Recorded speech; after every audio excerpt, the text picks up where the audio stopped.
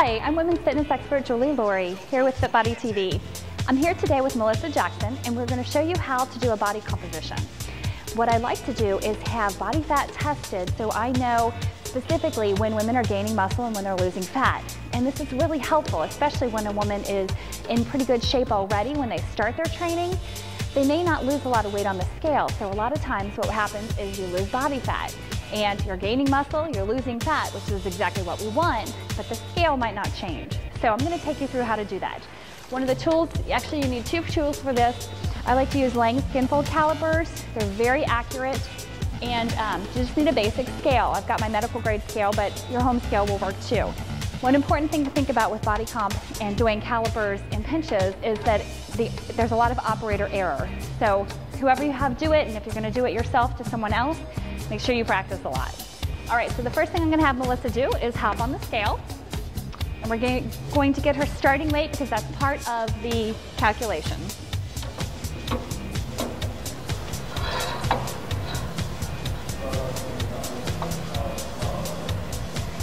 Okay. All right, so I take her starting her weight for there, and I have a spreadsheet for each of my clients that are, or each of the women on my team. So I keep track over time, so we know exactly where Melissa has been, actually from about a year ago to now. Okay, then you take out your calipers, and um, I'm gonna have you go ahead and just turn this way towards me, put your arm up. I do everything on the right side for consistency. So I take and you pull out slightly on the skin, so you're really just getting the skin and the fat that's underneath that. You're not pulling muscle, you're not pulling other tissues. So I take that pinch, put your arm down and turn in.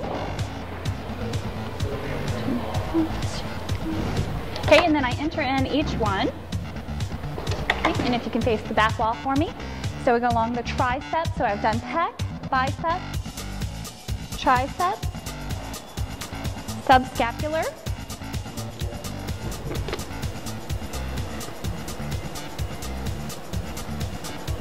Okay, lower back, so lower back is gonna be halfway between the spine and the hip bone.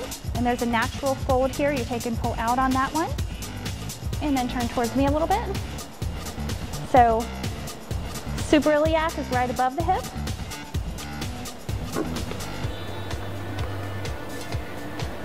And then back towards me slightly.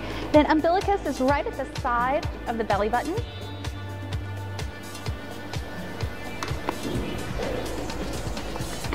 If you can pull up for thigh. So right at the center of her thigh, go right across the middle and pull out. Okay, and then if you can face the back wall for me.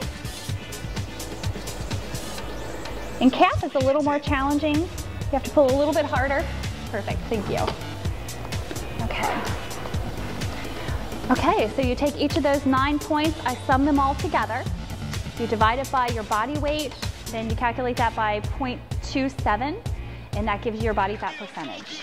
All right. Thank you for watching FitBody TV. For more great fitness information, check out julielohre.com.